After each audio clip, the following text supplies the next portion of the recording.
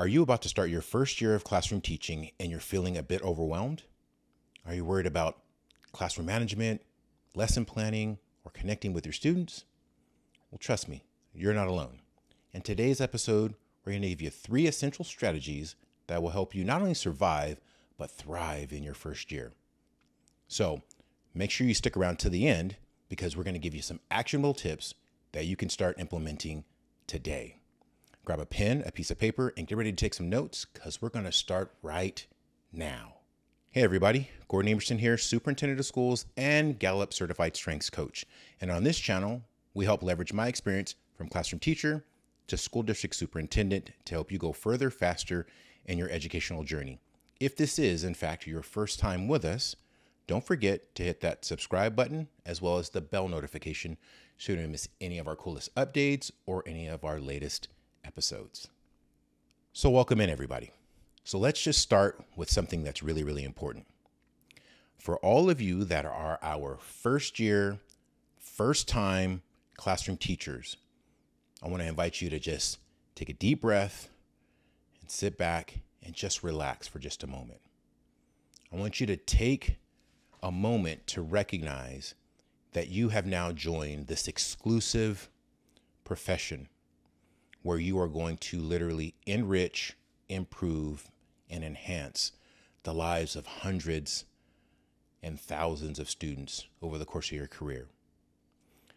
And people like like me, principals, superintendents, hiring directors, we chose you and we chose you for your gifts, for your talents, for your expertise, and for your passion to help young people be better. And so what we want to do is we want to equip you. We want to equip you with some some key things to think about as a new teacher because you can feel a bit overwhelmed. You can wonder are you going to be able to do all the stuff and make sure you can fulfill all the commitments that come along with the responsibility, the huge responsibility of supporting students, executing on the school site principal's vision, helping to build the school community. All those things will be at play. But what we're going to focus on are those core essentials. Because when you do those core essentials really, really well, then it will blossom for other things for you to be able to enhance and increase and do so much more within your classroom. So that's what today's episode is all about. So we're going to give you three strategies, and then you're going to have actionable tips you're going to be able to implement and put into play right away. So let's jump right in with strategy number one. So, strategy number one is going to be foundational for your success as a classroom educator. And everything is all about having solid classroom management. So, from the very, very beginning, your classroom management system is all about creating a positive learning environment and an environment where all of your students will be able to be successful because there is a clear set of expectations an important strategy is to build a sense of ownership. So, collectively and collaboratively, designing what those expectations are with your students is powerful to create that sense of ownership, to create that sense of buy in. And then making sure that you consistently reinforce on a daily basis, on a per period basis, making sure that you're consistent in the application of what those expectations and what those rules and procedures are. Our students thrive when they know what is expected of them, behaviorally, academically, socially.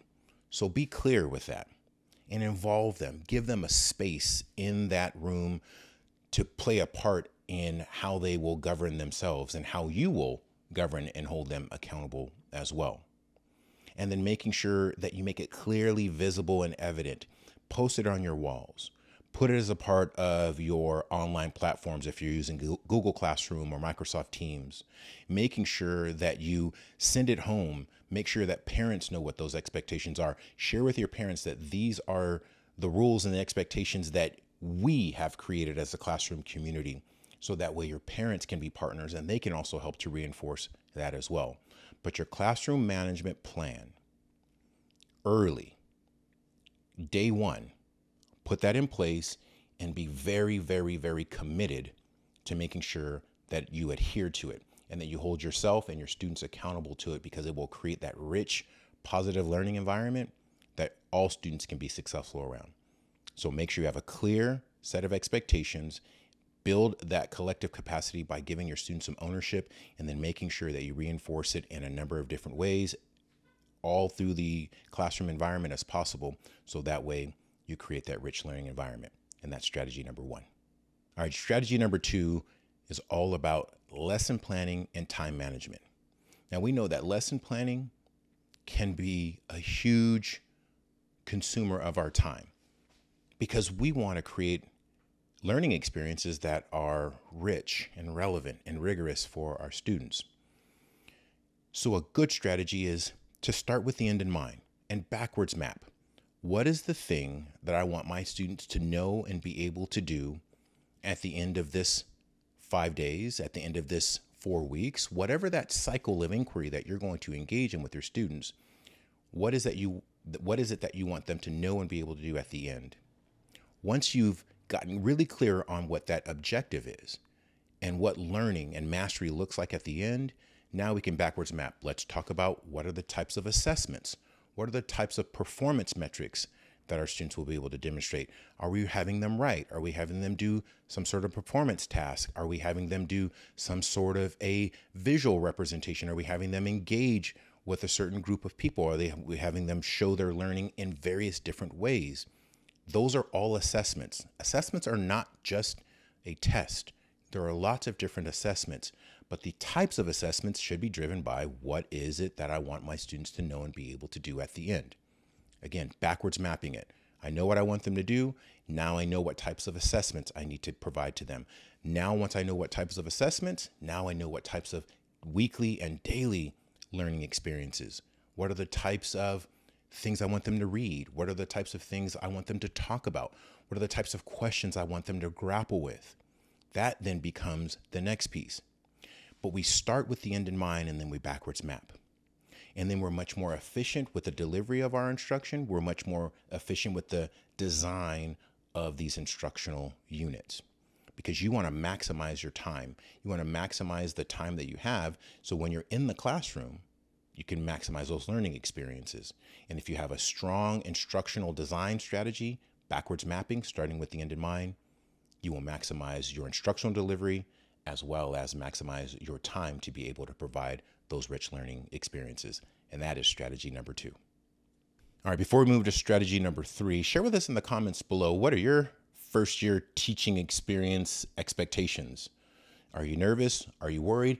What are you nervous? What are you worried about? Share that with us in the comments below and let us as a community share with you ideas, insights, wisdom, and some hacks that will help you. We were all, myself included, we were all first year teachers at some point. So you don't have to all have it all figured out yet. There's zero expectation that you are the most expert at what you're getting ready to do, but you can become that.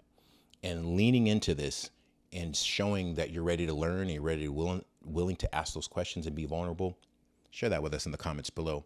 And we're going to support you in every way we can to provide some wisdom and some insights. All right, let's move to strategy number three.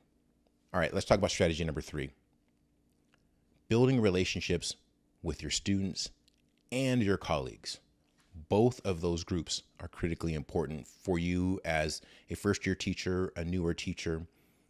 Building relationships is going to be key to your success. So, a concrete strategy right away that I want to tell you would be to create a check in and a checkout procedure with your students. Having that personal connection and you can figure out what the interval needs to be, whether that's on a weekly basis, whatever the a monthly basis, a daily basis in some cases. But that check in and that check out, just seeing how students are doing, seeing how they're feeling, checking in on them and seeing what they need, how things are going, that establishes a deep and meaningful connection because students who know that you care about them will learn better. They'll engage more. They'll take more risk they'll feel more safe. And that's the environment that every single one of us have got to strive to create for our students. They deserve that. But also, we want you to build a strong sense of connection with a mentor, a veteran teacher, a more experienced teacher, somebody who can help you navigate some of the questions and unlock some of those issues that you may not know the answers to. And so, having that personal relationship with your students to make them feel safe and to grow them and develop them, also seek out that mentorship from a colleague who can help you also feel safe, feel connected, feel engaged, feel empowered to do this really, really critically important work.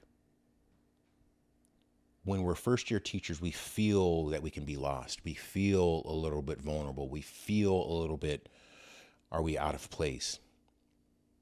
Resist that urge because there are professionals all around you teachers, school site leaders, your, your school site administrators, district level support folks. Tap into those resources, develop, develop those mentoring relationships. It's going to help you to thrive. There is nothing more important to me as a leader of an organization than the success and the successful fulfillment of, of a life's passion. When we become educators, we become educators because we're passionate about it, because we want to make the world a better place. And so, whatever we can do to create opportunities for you to be successful, that's what we all should be striving to do and hold us to account for that. Seek out those leaders and ask them how they can support you as a new teacher, as a new educator, as a new professional. Ask those questions. You deserve that type of support. We as leaders need to be held to a, a, a higher standard to make sure we're supporting the folks that we lead. And so if you stay with us to this point in the video, don't forget to hit the subscribe button, hit the like button, share it with a friend, share it with some folks. We want to continue to provide that value to you. And if you want more information about how to just thrive as an early professional, an early career professional, if you just want to get more mentorship, more information, check out this next video. It should be right here. And don't forget to check the description below for more information on coaching and mentorship and our weekly newsletter and all that information. Hopefully, it supports you along the way as well. We're on our way. We're starting a new school year. We're rocking and rolling, and hopefully, these resources are valuable to you. All right. So take care of each other. I want you to be well, and we'll see you on our next one. Thanks, everyone.